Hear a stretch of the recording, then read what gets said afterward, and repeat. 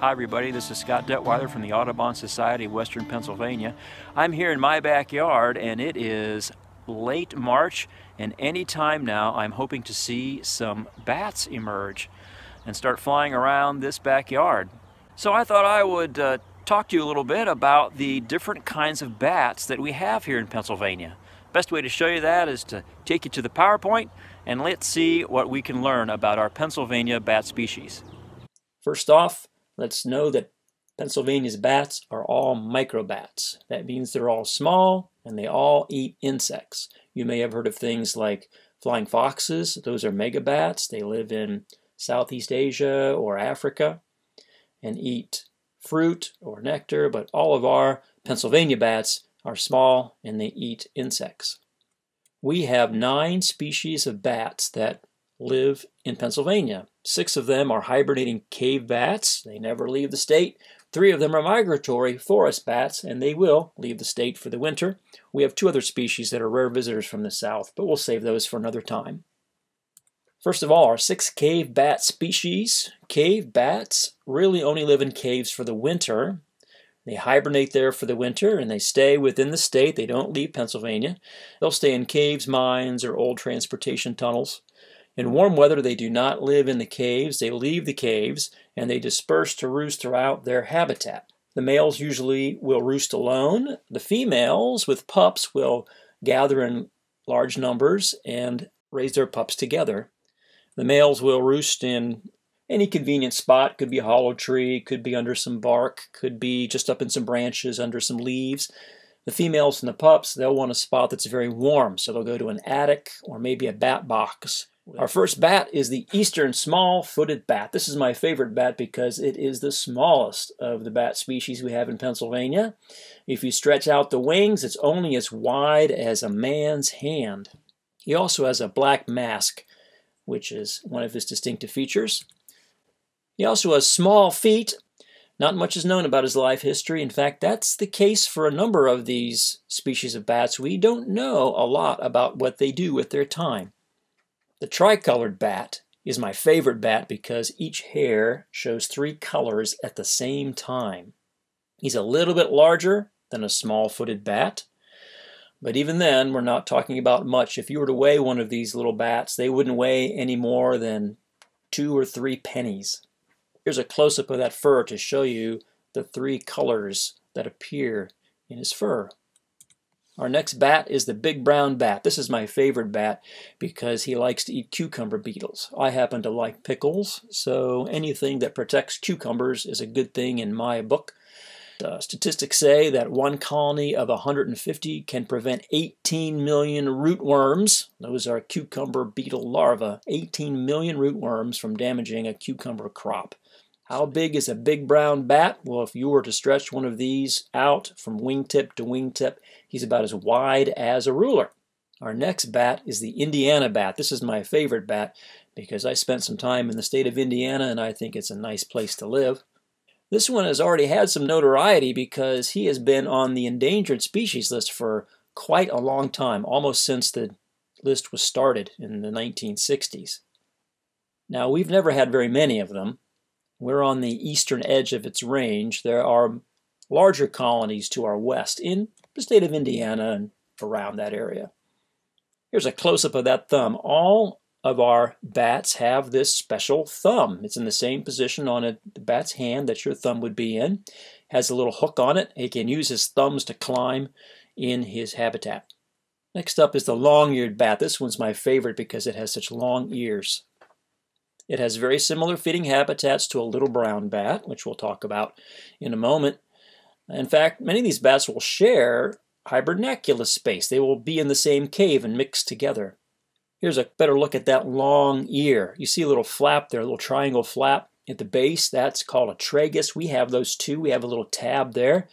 Microbats do use echolocation to find their prey, so they rely quite a bit on hearing, and it's thought that maybe that little tragus structure helps them hear a little bit better in some way. This is the little brown bat. This is my favorite because it used to make the largest winter colonies. By the way, look at this picture and you can see this bat using its thumbs to move around. This used to form Pennsylvania's largest winter colonies. There was a very notable one at Canoe Creek State Park, made up of mostly little brown bats. That hibernacula once held 35,000 bats. Unfortunately, due to white nose syndrome, that number has drastically dropped. There's only a few hundred overwintering there now. While these colonies can get quite large, typically a size is more around maybe 9,000 bats. Now let's get to our three forest bats. The forest bats spend more of their time in among the trees. They might fly along creeks and things like that, catching things. They don't come out into the open fields quite as readily, so that's why they're called forest bats. They also don't hibernate in caves. They will go to other places. They will fly other places to spend uh, the cold winter months, but not necessarily as far as you might think. This is the red bat. This is my favorite bat because it uses its tail like a blanket. If you look at the picture there, you'll see how he's kind of tucked in there. Actually, all the forest bats have furred tails. That helps them to stay warm. Our cave bats generally don't have much fur on their tails. These guys will migrate to southern states, but they have the ability to go into a torpor, which is sort of like a light hibernation or a brief hibernation. So they'll get through uh, cold snaps that way. Here you get a better look at that furred uropatagium. The uropatagium is the stretch of skin between their back legs. Again, in all these forest bats, that patagium is furred to help them stay warm. It's also used like a basket to catch the baby when it's born. Speaking of babies, here we have a shot of the red bat with uh, three babies. Red bats are a little unusual in that they have up to three, sometimes even five babies at one time. Most of our bats we're talking about will only have one baby at a time, which is unfortunate because that makes it harder for them to recover if there is a drop in population.